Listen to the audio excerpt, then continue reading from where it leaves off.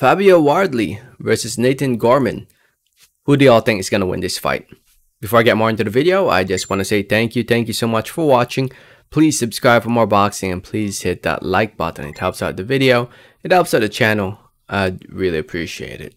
So this fight between Wardley and Gorman is scheduled for 12 rounds in the heavyweight division to take place over in the UK for the vacant British heavyweight title. Fight will be taking place on the 26th of November, November 26, 2022, live over at the OVO Arena in Wembley in London in the UK uh, in the undercard of the Dillian Whyte versus Jermaine Franklin fight to be shown live around the world on DAZN. So tune into DAZN this Saturday on the 26th if you want to see it. To those who don't know who Fabio Wardley is, he's a 27-year-old fighter from the UK, 14-0, 13 wins coming by way of knockout TKO. He's coming for a win against Chris Haley back in July of this year.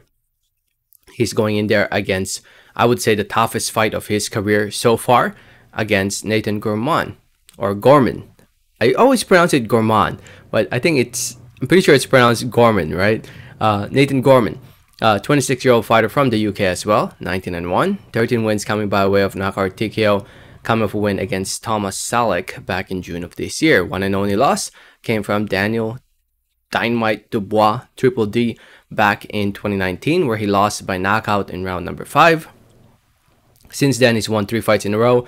Hasn't really been that active, only fought once in 2020, once in 2021, and so far once this year. This will be his second fight this year. Um, yeah, it's it's the toughest fight of Fabio Wardley's career on paper, and a fight that he might actually lose. Uh, it's not gonna be easy. Um, in my opinion, I think it's gonna be a competitive fight, but in the end, I'm still leaning towards Wardley in a, a in a very competitive fight. Um, I see Gorman give, definitely giving him some problems. But in the end, I think Wardley's speed and accuracy will beat Gorman to the punch. And I see him hurting Gorman somewhere in the, the second half and, um, you know, stopping Gorman by TKO, let's say like round nine, uh, around that, eight, nine, 10, around those rounds.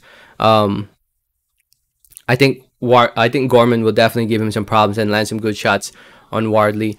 And you know, I think the fight will be close throughout. Um, heck, it won't surprise me if Gorman is winning the fight leading up to the the second half of this fight. But I think in the end, I think Ward, especially Wardley's speed, I think he he will eventually land something clean, um, and continue to land something clean and hurt Gorman and stop him in that second half. But I could be wrong. It's the heavyweight division. One punch can change the entire fight. Heck, it might end in the second, the first half. Um, I just think that Gorm- Gorman's chin can take Wardley's power to the second half. Um, not just his chin, but his also his heart and determination. Uh, but then again, like I said, I think Gorman has what it takes to make this fight very competitive. Uh, but we'll see. Anything's possible in the sport of boxing, especially in the heavyweight division. One punch can change the entire fight. If I had to pick a winner, definitely Fabio Wardley in round number 8, 9, 10 by TKO. Let me know your thoughts. Thanks for listening and watching. And like always, have a great day. Alright, thanks.